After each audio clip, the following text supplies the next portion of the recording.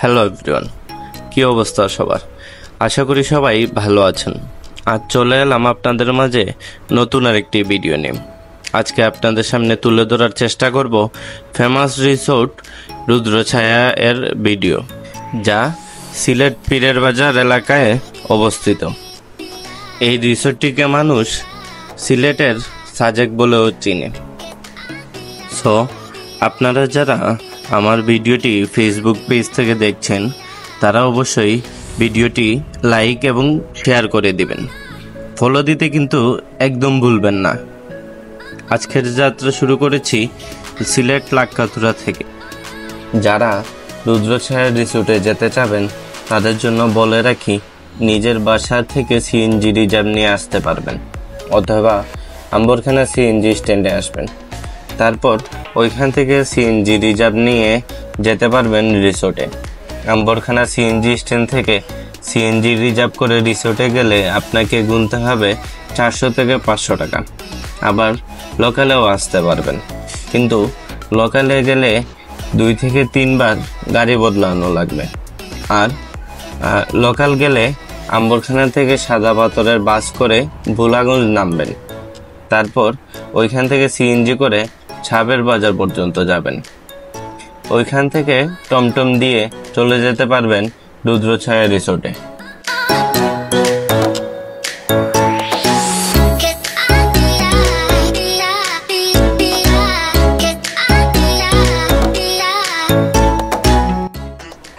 আমিও সিলেট বুলাগঞ্জ রোড হয়ে এগুতে লাগলাম।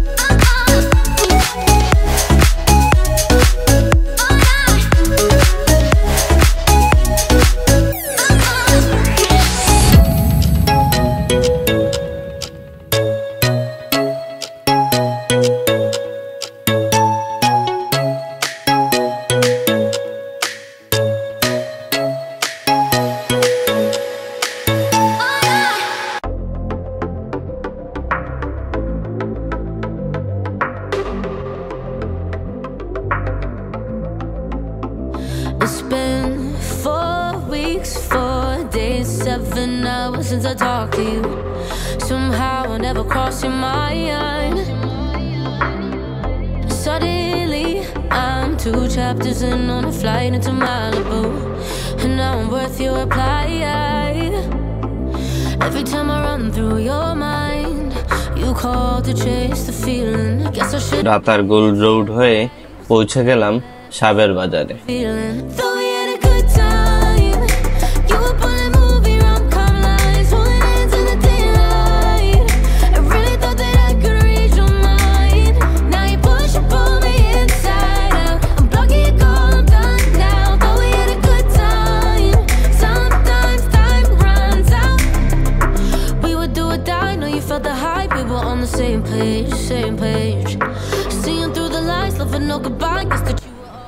সাবের বাজার থেকে পীরের বাজার রোড হয়ে এগুতে এগুতেই পৌঁছে গেলাম রুদ্রছায়া রিসোর্টে। যে আপনাদের কাঙ্ক্ষিত রুদ্রছায়া রিসোর্ট। টিকিট নিয়ে ভিতরে ঢুকলাম। এইখানে এন্ট্রি টিকিট জন প্রতি পঞ্চাশ টাকা এবং ভিতরে একটা জায়গাতে ওঠার জন্য আরও বিশ টাকা তাদেরকে দিতে হয়। তার মানে জন প্রতি সত্তর টাকা করে তাদেরকে দিতে হবে। অন্যদিকে বাইক নিয়ে গেলে বাইক পার্কিং এর জন্য দিতে হবে আরও বিশ টাকা।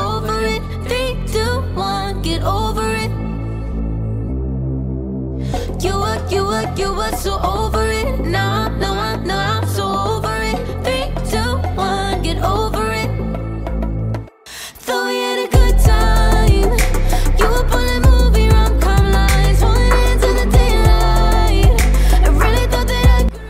তো এই যে ভিতরে ঢুকে পড়লাম।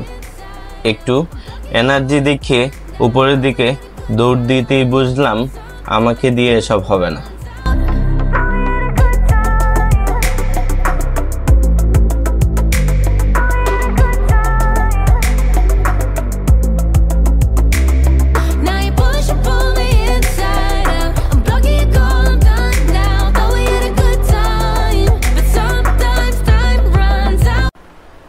সামনে এই যে জায়গা দেখতে পাচ্ছেন, এটি হলো ক্যাম্পেনিং এর জায়গা।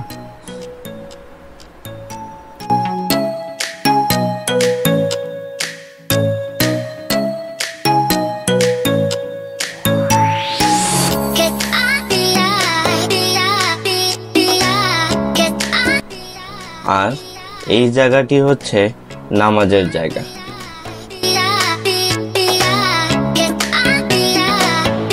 এই যে প্রাচীন খালের রিক্সা এই রিক্সাতে করে অনেক ঘুরেছি।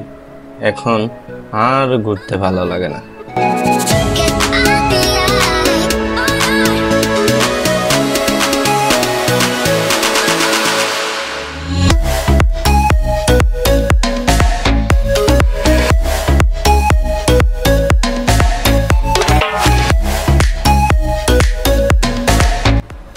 রিসোর্টে ছবি তোলার জন্য এবং প্রাকৃতিক পরিবেশে সময় কাটানোর জন্য অনেক জায়গা রয়েছে।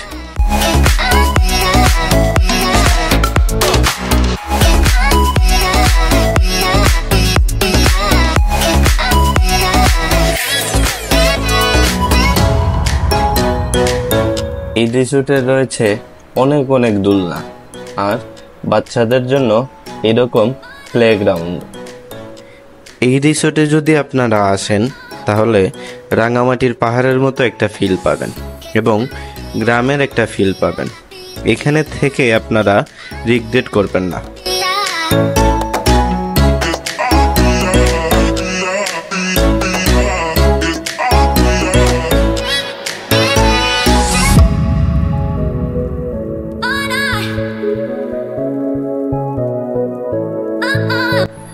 তাদের রিসোর্টে রাত্রি যাপনের জন্য এরকম তিনটি কটেজ রয়েছে। এক নাম্বার হচ্ছে বৃষ্টিবিলাস, তারপর প্রজাপতি, তারপর হচ্ছে ছায়ানীর। এর মধ্যে আমার কাছে মনে হয়েছে বৃষ্টিবিলাসটি একটু বড় এবং সব থেকে একটু অন্যরকম বাচ্চাদের মতো দুলনায় চড়ে চড়ে প্রাকৃতিক পরিবেশটি একটু এনজয় করতে থাকলাম।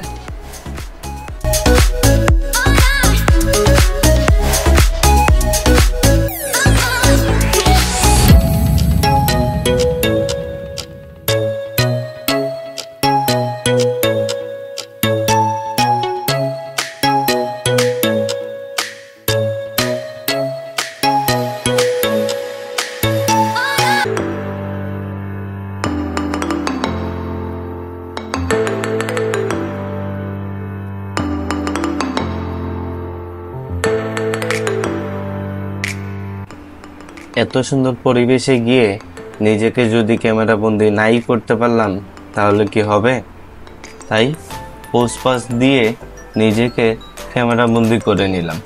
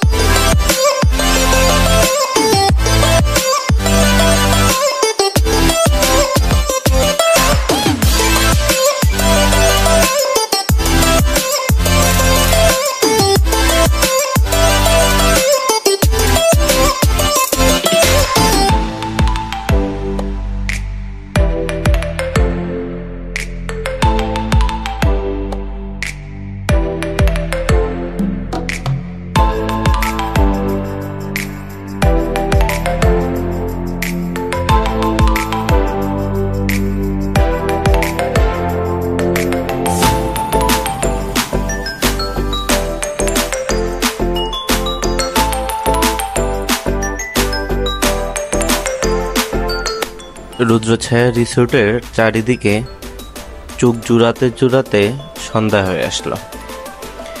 ঘড়ির কাটায় তখন পাঁচটা আট। বেরিয়ে পড়লাম সিলেট আসার উদ্দেশ্যে।